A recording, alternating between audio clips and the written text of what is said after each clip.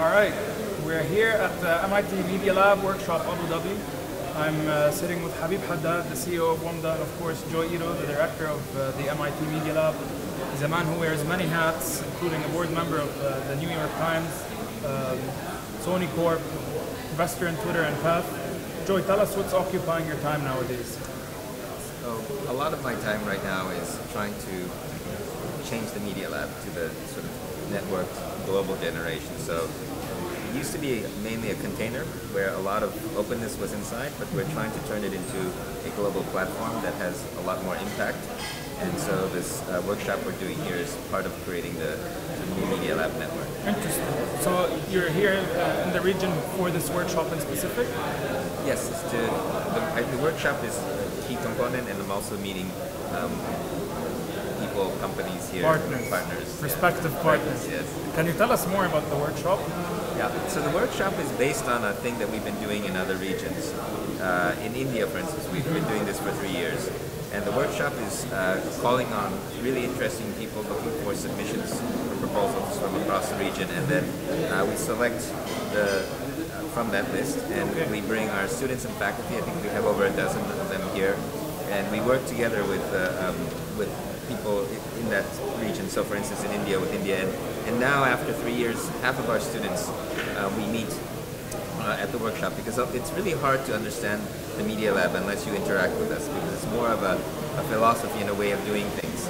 And it's also very important for us to meet the students before we recruit them to the Media Lab. So a lot of this is kind of a recruiting thing. Sure. And I think the number of students that you have has a lot to do with the bandwidth that you have with the region. So we only have a couple of Arab students. So the amount of connection we have with this region is still quite narrow. So the idea, main idea is to really try to increase the surface area, um, to you know, bring students from here that we find and try to recruit them for the Media Lab, and also give my faculty and students exposure to the region.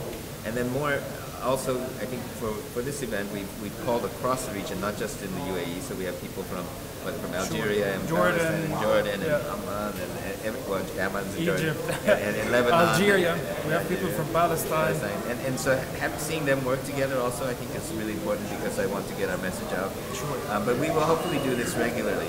Um, Sure. the first thing. Sure, yeah, regularly in different cities as well throughout Yeah. the region, yeah. So that's that's really the, the, the core value of this is that the more you do it, the, the more you can sort of find students and, and, and, and sort of en- enrich the Media Lab experience in a specific That's where the platform the part comes in, right? This is why changing the media lab to become to go up to places rather than everything happening in one place. I think the, the thing about the platform and, and part of what we're doing here is, you know, just a couple of decades ago, to try anything like Aspen Movie Map, which was, you know, with the laser disc, and everything cost a lot of money.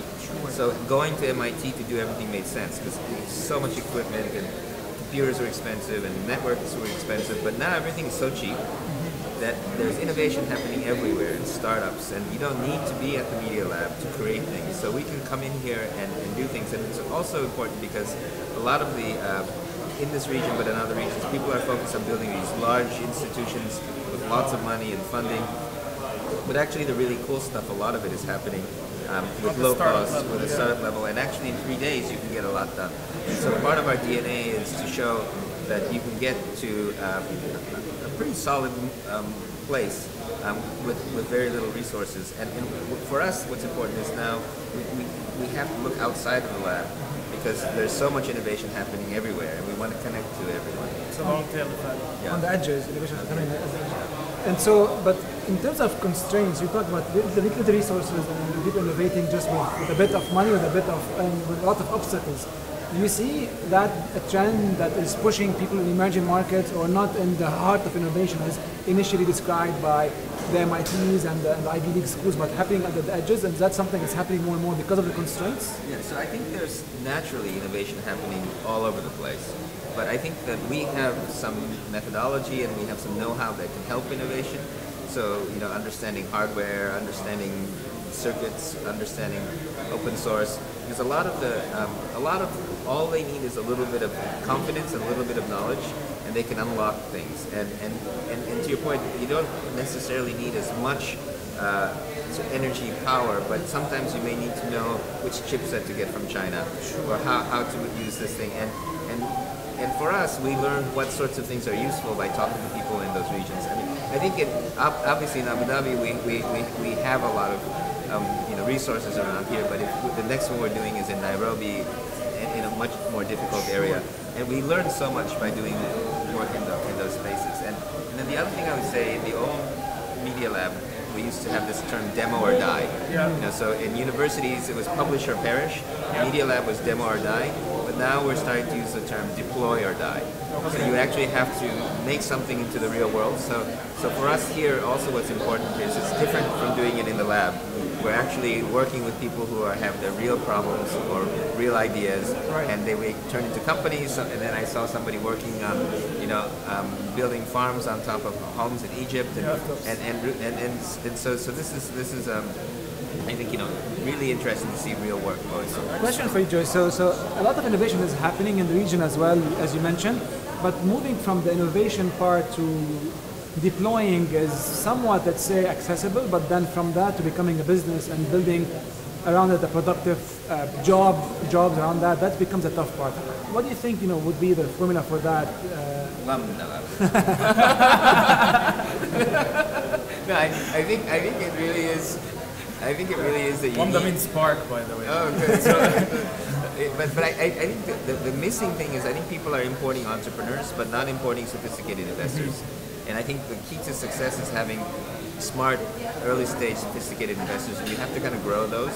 So I think that's one piece because you because a lot of the government funds and things they only want to put big chunks of money, but you Yeah. can't put big chunks into little ideas. So so I think that's that's one piece, and then also allowing large companies. You you know these problems, right? Large companies working with small companies, but but I, I think that this is where you know giving this a little bit of structure, you know, giving it some brand, so that like because to be honest, the re- one of the great things about the Media Lab is we get really smart students, and their parents are like. Oh, they're getting a PhD at MIT when, when, when we're running around making things here, you know, and it Yeah. gives people permission Yeah. especially from their parents. And I think part of this is also getting the feeling that you have permission. Um, because really, I think it's the money is important, but a lot of it is they, they kind of hold back because they're afraid of the risk. Or they, should I really be doing this? Is this this is too much fun? Is this okay? You know. So this this is the brand, the brand of MIT or the brand of, of, of, of top universities is describe it. It's not important as a brand, but it's important of what, how you leverage it. And it's kind of a, a, a wall, and behind it you can go and, and mess up and do things and be sloppy, but then very quickly get to market, and then the brand can protect you from that. basically. At least short term, you know, I think that uh, um, the, the brand.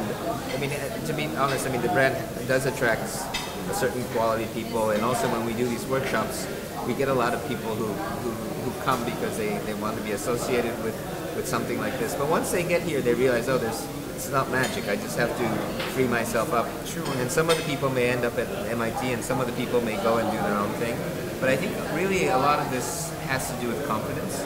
And when they realize, you know, like I, I had some kids when I was working in Detroit afterwards, they said, no, I was sitting next to an MIT kid and my idea won, you know, and, and just to realize that, you know, it's, that everyone can be part of this, this thing the energy. So you mentioned something interesting, which is financial support and the difference between sort of smart capital and the more institutionalized investment. Um, after you joined the MIT Media Lab, you launched E14, which is a, a, a fund, so to speak, that invests in former Media Lab students and helps them uh, not just with financials, but with uh, uh, other tools to kick off their businesses. Yeah. Uh, can you speak more to that and how the region could learn from that, a fund like that? Yeah, so we, we're just starting. So we did the first one last year, but it's, it's really to help students after they graduate.